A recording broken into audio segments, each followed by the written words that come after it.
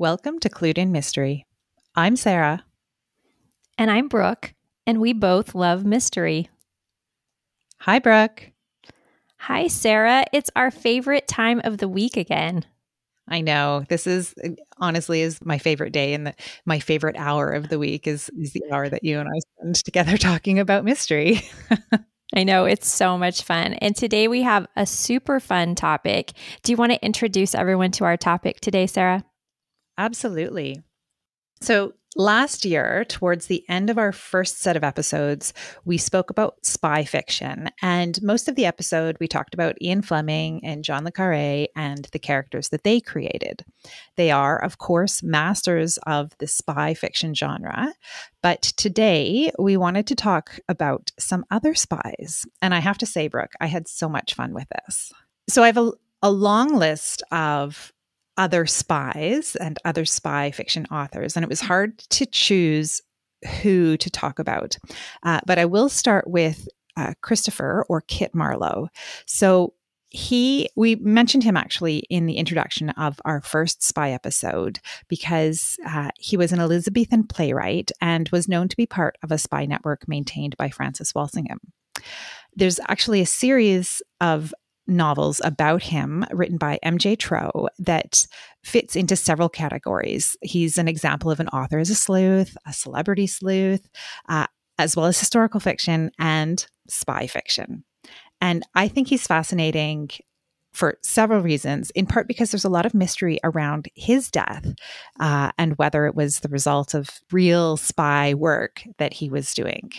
We also talked a little bit about spy fiction with a focus on women. Uh, and I mentioned Kate Quinn, uh, who authored The Rose Code and The Alice Network. Uh, and, you know, I did a, a, quick search on Google and typed in women, you know, women spy fiction. And there are so many examples largely historical mysteries. It's a pretty strong signal that these are going to be uh, women spy fiction novels because of the cover. So it's often a woman from behind, uh, maybe looking off to the side or looking, you know, we can't see her face. Um, it's a pretty strong signal that uh, that this will be something about uh, a woman and, and spy, typically in the in the Second World War. Uh, but I did recently read and really enjoyed uh, Foul Lady Fortune by Chloe Gong, which is a historical mystery, features a woman who is very much uh, engaging in spy espionage activities. There's also a supernatural element to these books. Uh, and this is the first of, I believe, she's planned two books in this series she's written another series that uh, there's some characters i think this is a spin-off from uh, her earlier series and i haven't read any of those other books but in the author's note she does say i encourage you to read the other books first before you read this one if you don't want any spoilers um, but i will be reading them in the wrong order because i will definitely be be reading those others mm-hmm. but it was it was excellent brooke you know, when we were talking about this episode, I said to you, you know, I just don't really read very much spy fiction. That's kind of your thing. You you know, you've really dabbled in a lot of it.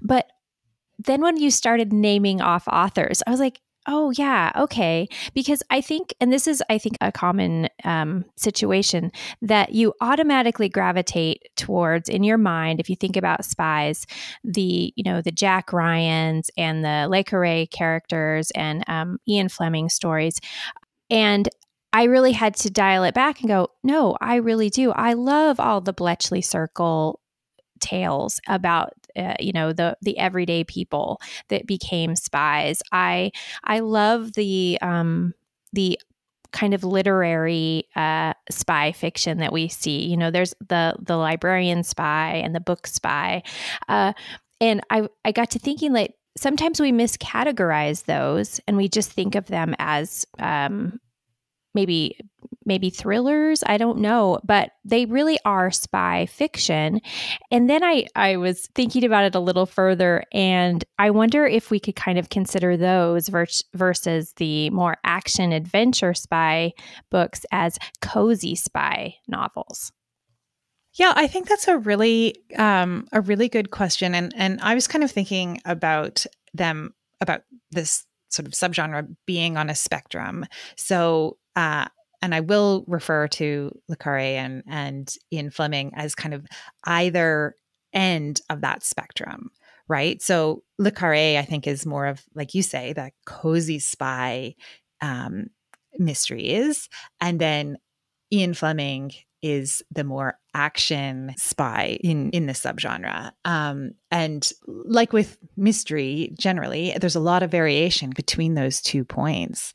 Like Jack Ryan, I would position closer to uh, Bond, right, or Bourne, um, in terms of being much more uh, action oriented. Um, yeah, it's a really great observation. I also liked that in your entry, you talked about the way that there are various subgenres within the subgenre. Um, you know, you get the action adventure, like we just said. There's usually political elements. Many of these are historical. So if you're into historicals, you can grab one of those, and even sci fi. Absolutely. Uh, and I've been thinking a little bit about what makes the genre so appealing. I wonder if it has something to do with how a lot of the stories, and particularly, I think, you know, we're thinking about those cozier spy mysteries, um, but even to some extent, I think maybe some of the action ones, um, how a lot of the narrative mirrors reality. And so, what I mean is that there are people whose job it is to gather intelligence, and obviously there are police detectives, and it's their job to solve to solve crimes. Um, but and with with books in both detective and in spy fiction i think some of them can feel a lot more plausible than some of those others that i still love but others that that fit under the mystery umbrella. A lot of the women's spy fiction is either based on actual characters or people who've been inspired by actual women who worked during the Second World War and worked at Bletchley or you know were used in uh, the resistance or or uh, you know because they were not uh, perceived to be threats. I think you're you're right. It makes it so accessible. Um, I can't really put myself in the shoes of James Bond or that lifestyle, uh, but I can definitely imagine what it would be like to just be this normal gal who happened to be good at crosswords and have a knock. Uh, by the way i'm not good at crosswords but i can i can use my imagination. But have that knock that knock at the door and be like hey we need your uh, level of expertise. You have this special skill. It's so appealing to hear that person's story. Um, and I think that, you know, in our earlier episode, we discussed that spies asked ask big questions. Uh, you know, they say, you know, what am I here for? Who am I? Um, there are some deep, you know, human condition questions that happen in spy fiction.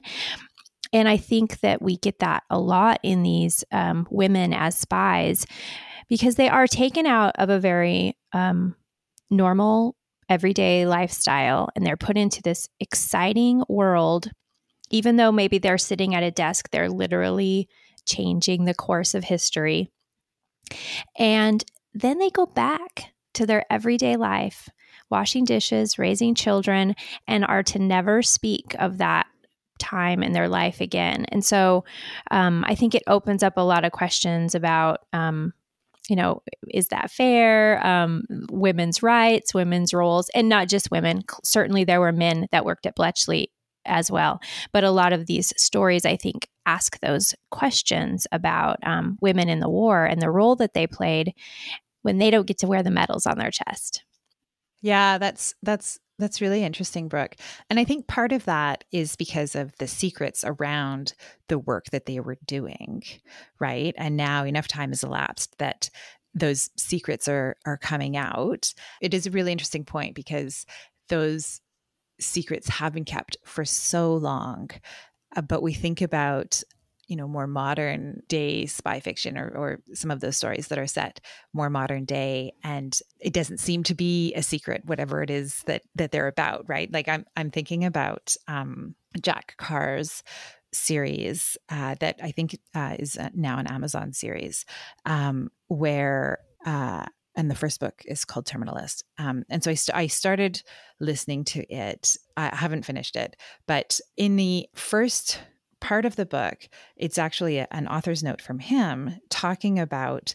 Um, he talks about the writing process and kind of how he got the books and eventually how he got the show produced. But what I found was really fascinating was he talks about the vetting process when he writes his books because he was actually, I believe he was a Navy SEAL. That lends some authenticity to uh, to the stories, and we've talked about that in the past about you know that um, having someone writing about about what they know. But uh, in his author's note, he talks about how everything that he writes has to be vetted by this uh, special government office in the US that ensures that he has not shared anything that would compromise actual people who are in the field uh, which is which is fascinating. Wow. Interesting.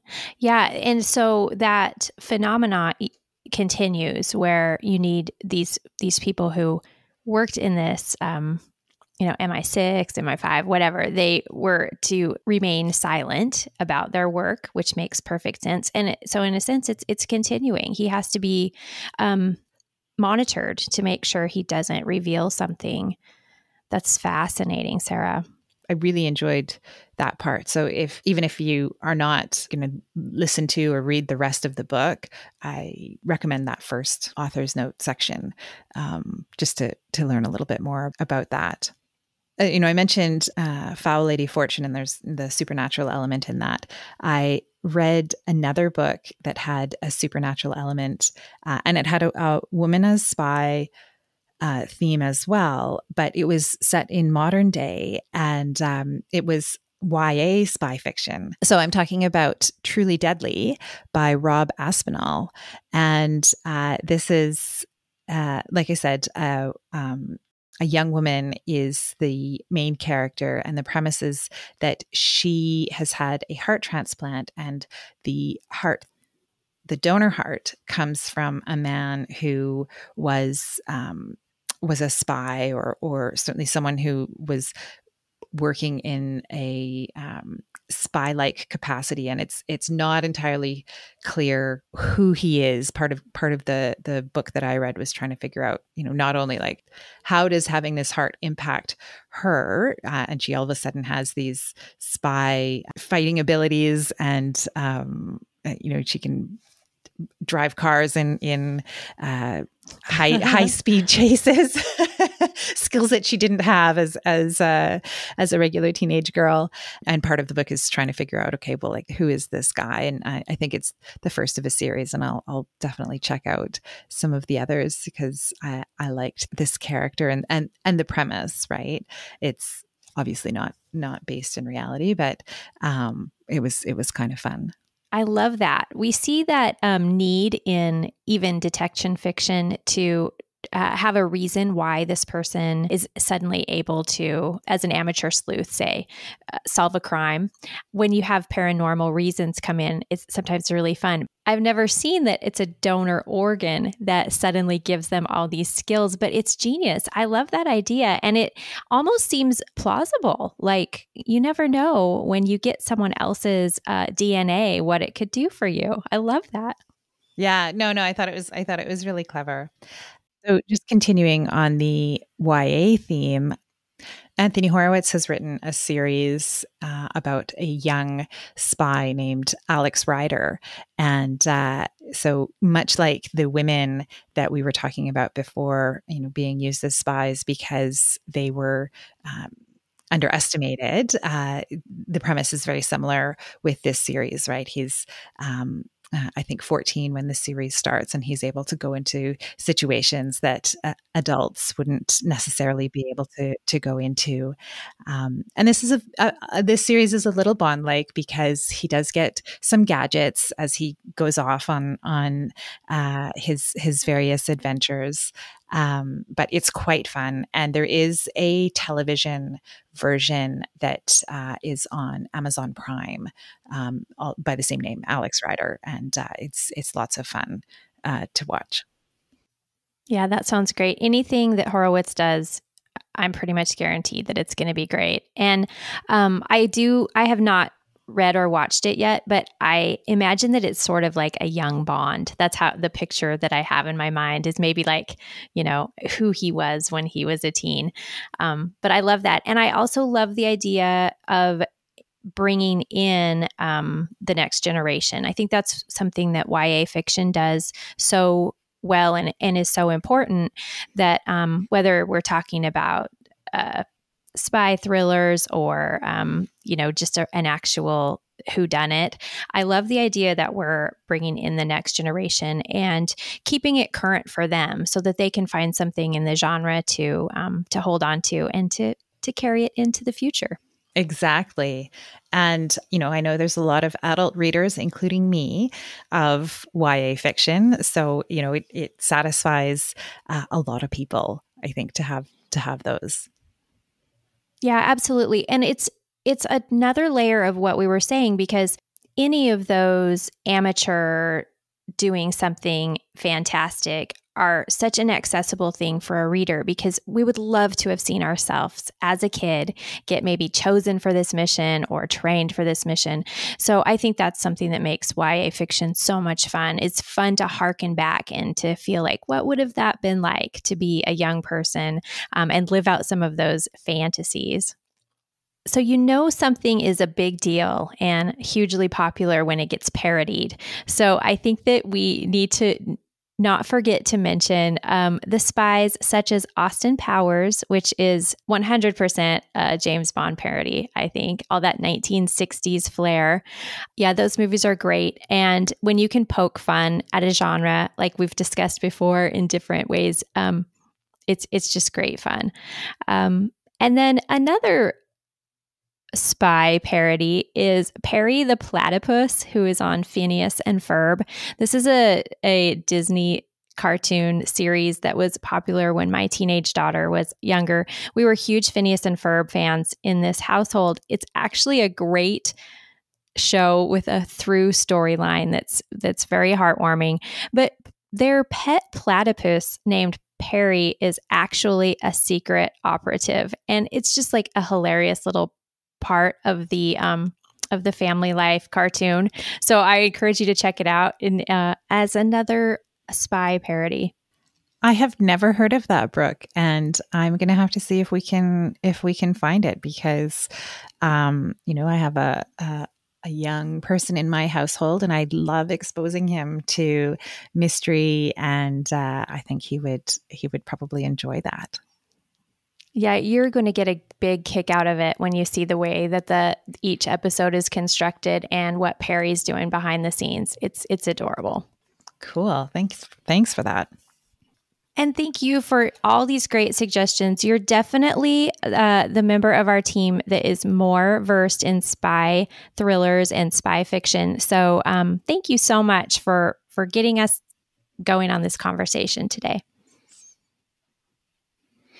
Well, thank you, Brooke. And I have to admit that until I did our until we did our first spy episode last year, I hadn't read that much spy fiction, but I've been uh, finding myself uh, choosing books in the in the subgenre um, more and more frequently. It's it's really something that I've I've come to love over the last year. That's great. I think that that's something that the podcast has done for both of us is that we're um, finding new little niches that we that we love and and new bits of information to research, and it's just it's just fantastic for me too. And we hope that you all enjoyed our episode today as well. And thank you for joining us on Clued in Mystery. I'm Brooke. And I'm Sarah. And we both love mystery. Clued in Mystery is produced by Brooke Peterson and Sarah M. Stephen. Music is by Shane Ivers at silvermansound.com. Visit us online at cluedinmystery.com or social media at cluedinmystery. If you liked what you heard, please consider subscribing, leaving a review, or telling your friends.